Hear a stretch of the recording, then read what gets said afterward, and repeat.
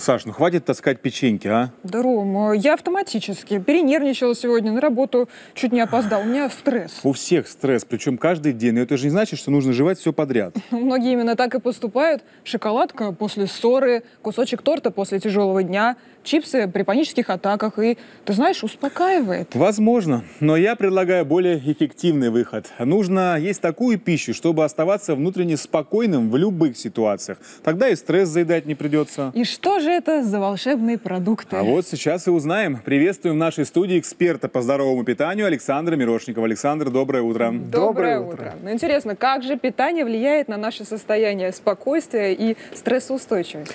Действительно, многие исследования показывают, что, например, э, шоколад да, успокаивает центральную нервную систему. Когда мы принимаем углеводы, то у нас выделяется дофамин, эндорфины, угу. и мы действительно испытываем такое да, ощущение эйфории даже. Угу. Особенно у так называемых эмоциональных людей. Да, это я.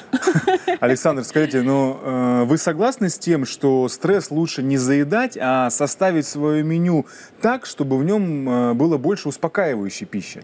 Все правильно, потому что любое заедание стресса, и даже сейчас психологи называют эмоциональные едаки, да. а такое поведение называют эмоциогенное пищевое поведение. То есть угу. те люди или пищевое пьянство.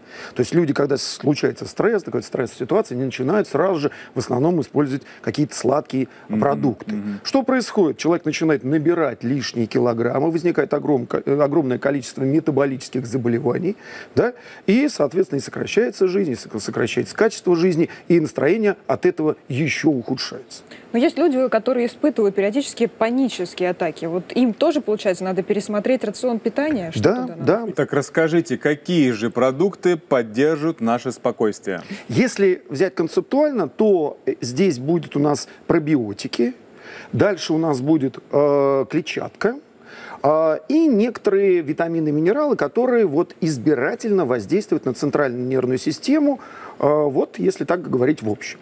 Ну, давайте тогда приготовим завтрак под кодовым названием «Без паники». Да, давайте приготовим. Да, и как раз мы начнем делать завтрак. Возьмем вот эту нашу с вами большую тарелку угу. и э, начнем непосредственно с пробиотиков. Что такое пробиотики? Они помогают успокаивать нервную систему, только не, не скорее всего не нам, а нашим бактериям. Mm-hmm. Потому что еще греки говорили, что если у нас больной желудочно-кишечный тракт, то настроения никакого не будет. Это факт, да. да. То есть берем греческий йогурт. Берем греческий йогурт. Здесь еще калий и магний, который успокаивает центральную нервную систему. Дальше берем с вами креветки и крабовые палочки. Угу. Помните еще старую шутку при изготовлении крабовых палочек? Ни один краб, краб не, не пострадал. Да, да, да. Вот. Здесь у нас содержатся такие вещества, как неоцин и никотиновая кислота, которые как раз влияют на центральную центральную нервную систему. А что самое важное, содержится белок. А белок хорошо насыщает. А мы знаем, когда мы чувствуем сытость, правильно, настроение у нас сразу повышается, и э, центральная нервная система успокаивается. Также возьмем куриные яйца. Это белок, и еще куриные яйца богаты у нас с вами лютеином и зеаксантином. Что это такое? Они не только оберегают наше зрение с вами, угу. но еще также воздействуют и на сосуды, и, главное, успокаивают, мягко успокаивают центральную нервную систему. Также нам необходимо с вами дополнить наш салат. Чем? Орехами. И конкретно миндаль содержит большое количество витамина Е. И возьмем с вами, вот у нас зелененькая с вами, что это? Авокадо. Конечно же, кладезин витаминов и минералов. Хорошо, а интересно тогда, какие продукты следует исключить ради своего спокойствия? И исключить кофеиносодержащие продукты. Mm-hmm. Почему? С одной стороны, мы вроде бы повышаем настроение, но регулярное употребление кофе, конечно, истощает центральную нервную систему и делает ее вот как раз наоборот чувствительной ко всем вот таким вещам. Регулярная одна чашечка каждое утро или как? Давайте договоримся, что до двух чашек кофе в день, в принципе, мы Норма, можем с вами использовать использовать. Но вы сказали, исключаем все кофеиносодержащие. Получается, чай мы тоже не можем пить или что? Также до двух чашек, но чай мы можем пить, но только специальный травяной. Угу. И вот как раз давайте у нас он с вами стоит, и здесь мята, и непосредственно чебрец. Их можно вместе будет смешать. Но чай, мы с вами сейчас сделаем салат, чай нужно пить по специальной системе. Перед тем, как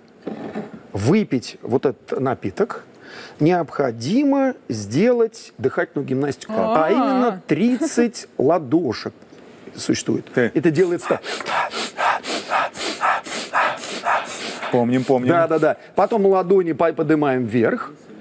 10 секунд закрываем глаза, расслабляемся и приступаем к чаепитию. А что у нас в этот момент активизируется? В этот момент как раз вступает, включается парасимпатический драйв, успокаивается наша с вами симпатика, и мы приступаем вот к этому чаепитию. Слушайте, здорово. Приходишь так в ресторан, начинаешь... Да, Мне, потом чай- чай. мне чайку, ну сейчас, подождите, я обряд совершу. да. все правильно. Этот обряд помогает как раз успокоить центральную нервную систему.